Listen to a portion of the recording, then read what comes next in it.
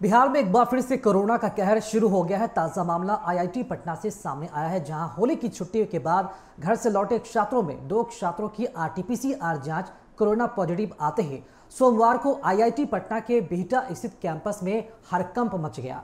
Report आने के बाद उनके संपर्क में आए करीब 41 छात्रों की जाँच कराई गई, जिनमें से 16 की रिपोर्ट पॉजिटिव आई है। जिसके बाद आईआईटी कैंपस में एक सप्ताह के लिए एकेडमिक सेशन सहित सारी गतिविधियों को बंद किया गया। बीटा आईआईटी की कई एकेडमिक बिल्डिंग को भी कंटेनमेंट जोन बनाया गया है और सभी छात्रों को उसी हॉस्टल में क्वारंटाइन कर दिया गया है।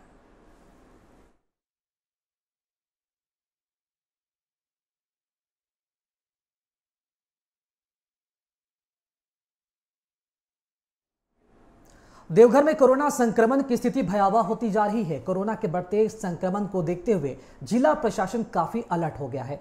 देवघर डीटीओ पी बारला के नेतृत्व में चिकित्सक टीम ने बस स्टैंड परिसर में कोरोना जाँच शिविर लगवाया और बस से सफ़र करने वाले यात्रियों का कोरोना टेस्ट भी करवाया। आपको बता दें कि अभी देवघर में कोरोना के तकरीबन 110 एक्टिव मरीज़ हैं। वहीं बीते 24 घंटों में आठ नए कोरोना संक्रमित मरीज़ पाए गए हैं।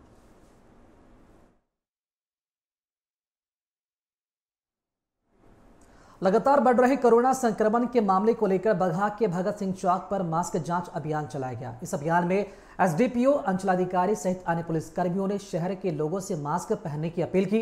वहीं बिना मास्क पहने लोगों से जुर्माना भी वसूला गया।